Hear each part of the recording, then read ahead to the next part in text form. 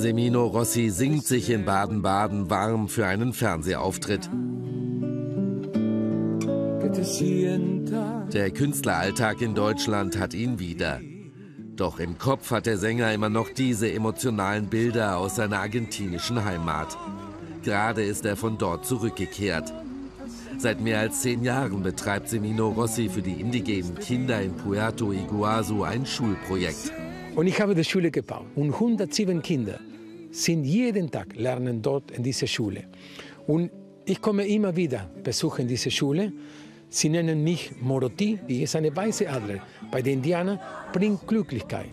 Und deswegen, ich heiße Moroti. Ich heiße nicht Semino Rossi, ich heiße nicht Omar Ernesto, ich heiße Moroti bei denen. Und als Moroti hat Semino Rossi für alle Menschen dort auch Musik gemacht.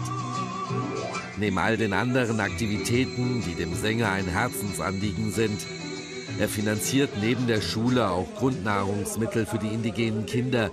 Mit vollem Magen lernt man deutlich besser, findet Semino Rossi. Wir haben jetzt der Schule gemalt, ich habe Essen gekauft, ich habe eine neue Pumpe, Wasserpumpe. Ich baue gerade mit meinen Fans 50 Häuser für 50 Familien. Ich sage immer, wenn du so viel bekommst, so wie ich bekomme, von der liebe Gott und von den Leuten, irgendwann musst du etwas dazugeben. Und das ist mein kleiner Teil. Die Kinder sind für ihn wie seine drei leiblichen Enkel, sagt er noch.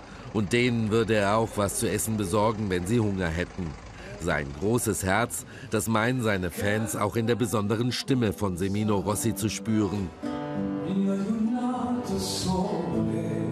Live zu singen, das bereitet dem früheren Straßenmusiker am meisten Freude. Kein Wunder bei der Stimme. Ich glaube, es ist ein Gottgeschenk. Ich passe auf sehr viel auf, auf meine Stimme. Ich rede nicht so viel, wenn eine laute Räume ist. Ich habe gelernt, tief zum Reden. Ich, ich strenge mich nicht zum Reden. Wenn du mich hörst, du musst nah zu mir. Ich, ich, ich rede nicht laut, dass du mich hörst. Für mich ist anstrengend mehr reden als singen.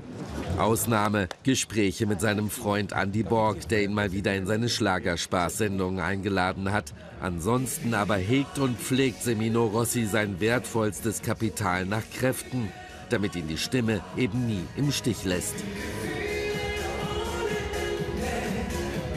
Und das Schönste für die Stimme ist Schlafen und viel Wasser trinken. Das mache ich.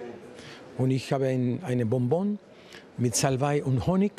Ich, ich esse, ich lutsche immer, bevor meine Auftritte habe.